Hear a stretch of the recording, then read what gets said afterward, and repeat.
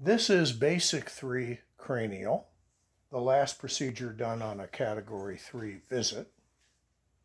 And what we do is we have the patient put the heel of one hand on the bridge of her nose, and she lies her middle finger down on top of her head. And I mark where that little finger tip is. And she takes her hand away, and then I place my thumbs just lateral to that spot and a little bit posterior.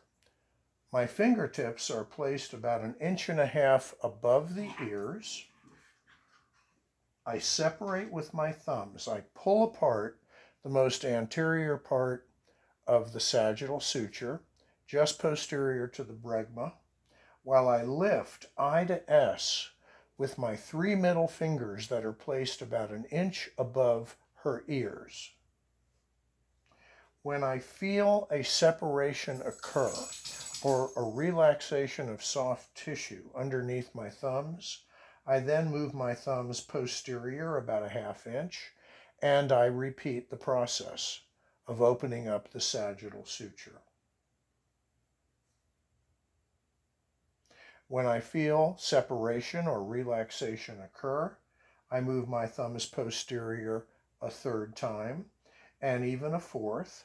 So I might spend two minutes opening up that sagittal suture, which serves to decompress the superior sagittal sinus right underneath the sagittal suture, where venous blood and CSF um, fill up and irritate the uh, low back homunculus.